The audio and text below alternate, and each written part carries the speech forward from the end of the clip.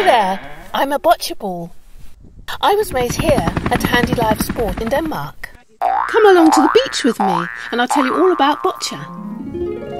Blind and sighted people play together with or without a touchboard.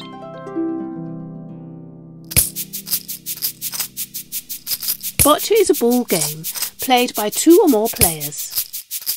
The ball closest to the white jack wins. The touchboard provides players with a way of checking the positions of all the balls. The pins have different shapes for the red team and blue team.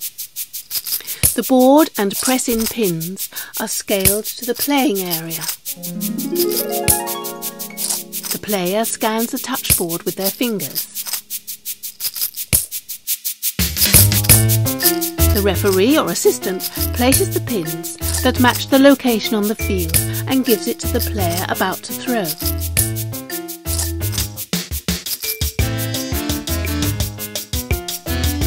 Blind boccia is played wearing blindfolds to make everyone equal. The touchboard enables players to play a tactical game and compete with sighted players. In this way, players are able to quickly move to an advanced level. Thanks to the touchboard, boccia sport is becoming more competitive.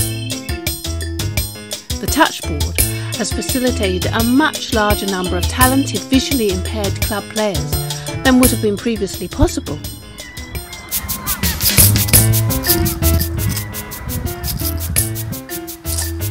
Lovely to have met you.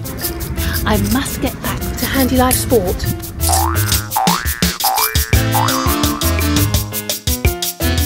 Come and visit us again soon.